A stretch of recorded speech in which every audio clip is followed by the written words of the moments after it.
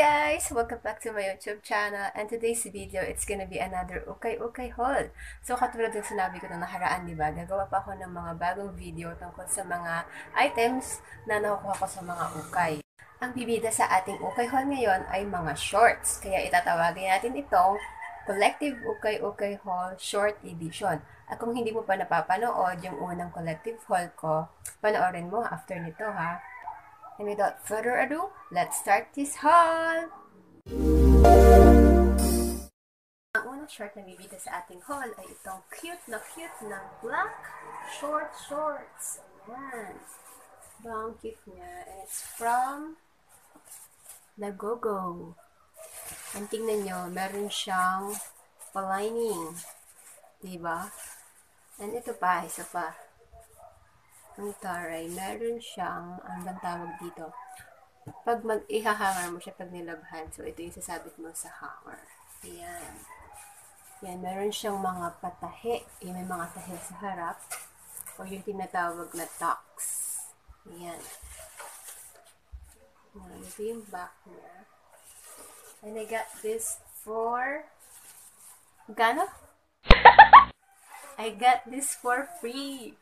Ito nga pala, meron, nakalimutan ko sabihin, meron siyang side pockets. Ayan, pero sa back wala. Free. Pero 50 pesos siya, pero free ko lang siya nakuha. Dito na tayo sa ating next item. Nakita nyo na, this denim shorts. High-waisted siya. Yan ang cute niya, diba? Wash. Wash siya. Tapos ito, meron siyang lupe or fold sa dulo, sa laylayan.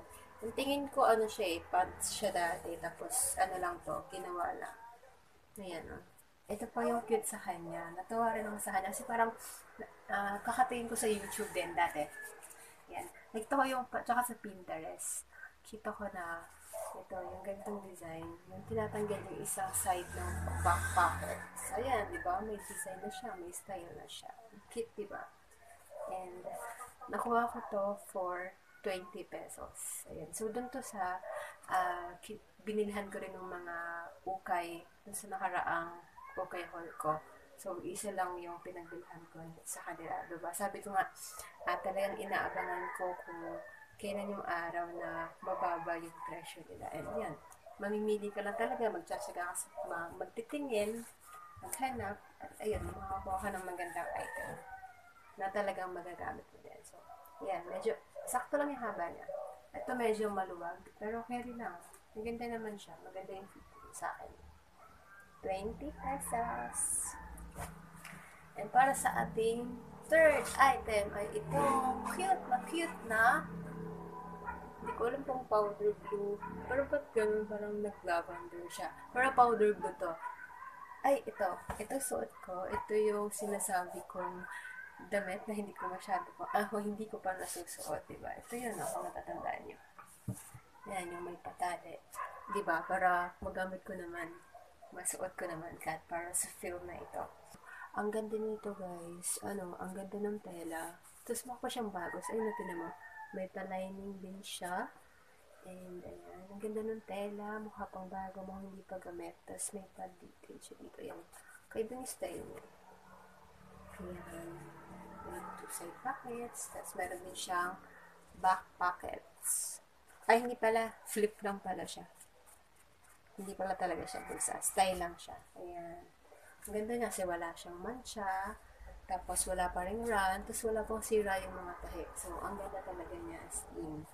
And medyo ano lang siya, low waist lang. Pero carry lang, ang ganda niya. Ganda na tsura niya.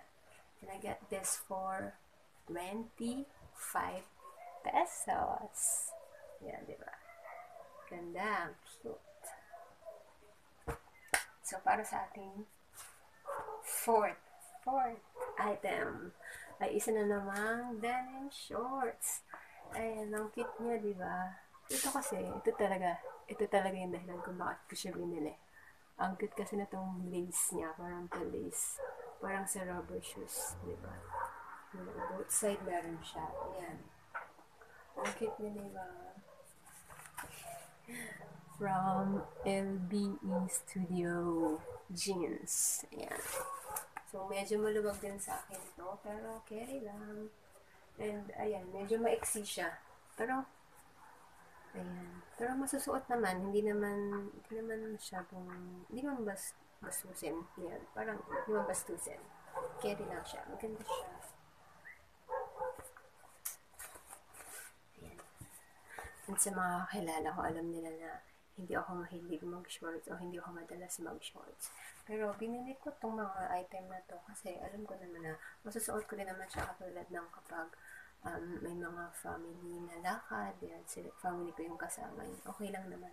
Carry naman mag-shorts. Yan, 25 pesos.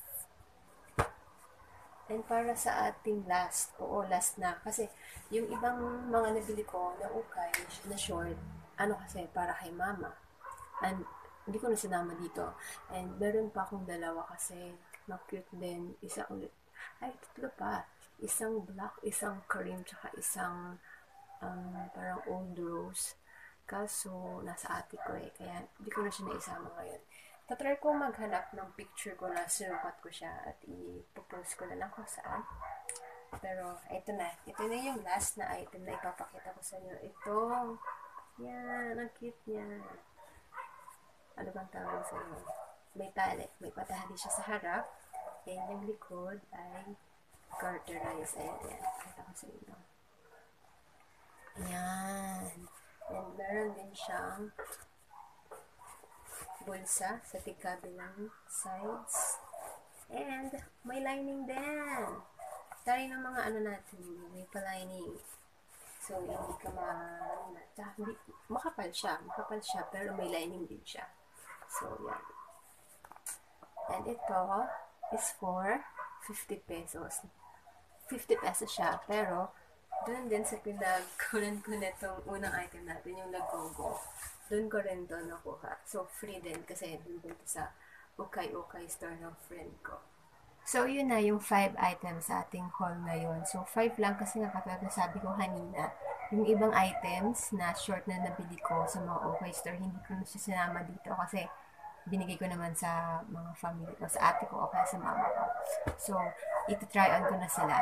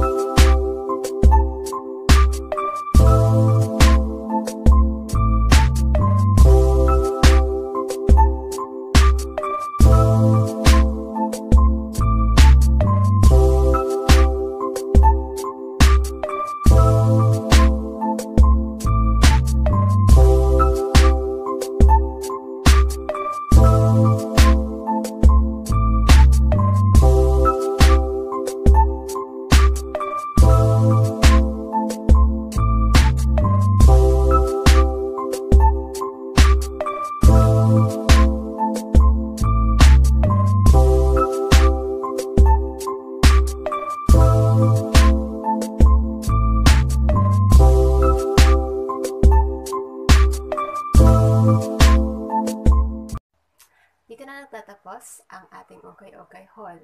At kung nagustuhan mo ito, huwag mo mag-thumbs up. At kung hindi ka pa nakapag-subscribe, mag-subscribe ka na.